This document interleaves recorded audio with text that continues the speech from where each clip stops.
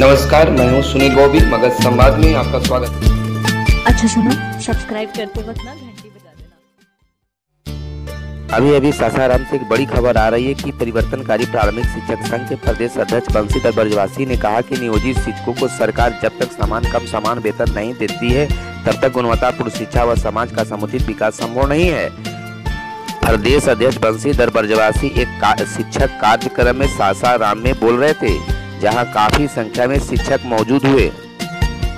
अब खबर विस्तार से परिवर्तनकारी प्रारंभिक शिक्षक संघ के बैनर तले आज रविवार को जिला इकाई रोहतास अंतर्गत सासाराम के ओझा टाउन हॉल में शिक्षक सम्मेलन का आयोजन किया गया।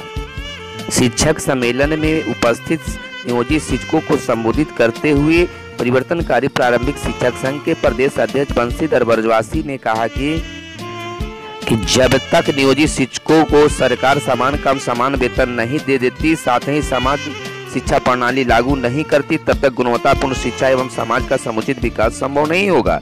बिहार सरकार शिक्षकों को चपरासी से भी कम वेतन देकर उनके आत्मबल को तोड़ रही है। जब तक शिक्षकों को उनके सम्मान एवं अधिकार प्राप्त नहीं होता है, सरकार से हमारी लड़ाई जारी रहेगी।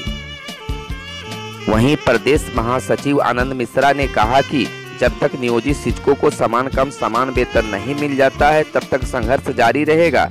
हम समान कम, समान वेतन लेकर रहेंगे। कार्यक्रम में काफ़ी संख्या में नियोजित शिक्षक मौजूद थे।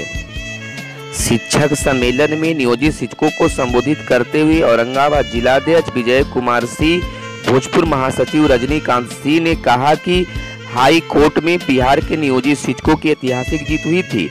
इसमें सरकार ने इनकार करते हुए सुप्रीम कोर्ट में शिक्षकों के खिलाफ एसएलपी दायर कर दी, जो कि उनकी हार का एक प्रतीक चिन्ह है।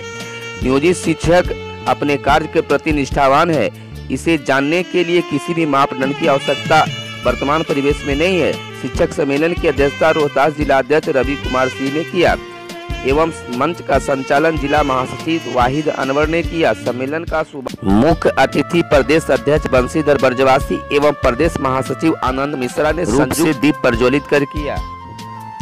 सम्मेलन में उपस्थित व विभिन्न जिलों से आए प्रतिनिधि ने प्रमुखता से अपनी बातों को रखा जिसमें जिला अध्यक्ष विजय कुमार सिंह औरंगाबाद महासचिव अनिल कुमार सिंह भोजपुर कोषाध्यक्ष सत्येंद्र कुमार उपाध्यक्ष राजकुमार, पुष्पेंद्र सिंह विजेंद्र सिंह, मदन सिंह, प्रदीप कुमार, शैलेश पासवान, राजकिशोर सिंह, नोखा प्रखंड अध्यक्ष, राजीव रंजन, उपेंद्र सिंह सहित दर्जनों शिक्षक प्रतिनिधि उपस्थित थे।